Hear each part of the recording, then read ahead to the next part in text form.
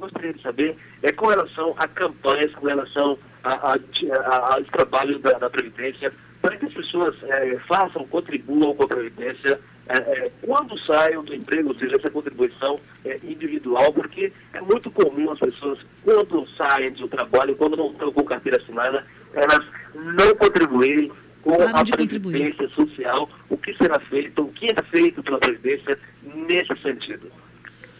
Olha, é preciso que, que se diga a essas pessoas que elas, claro, quando elas deixam o emprego, elas pedem o emprego, elas é, procuram o, o seguro-desemprego e se valem do seguro-desemprego para enfrentar a adversidade da perda do emprego. Com relação à contribuição, ela, no, ao meu ver, é, meu caro Rubens, só tem duas alternativas.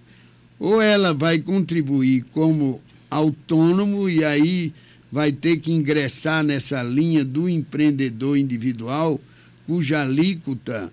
é diminuta, como nós falamos, é de 5% apenas do salário mínimo,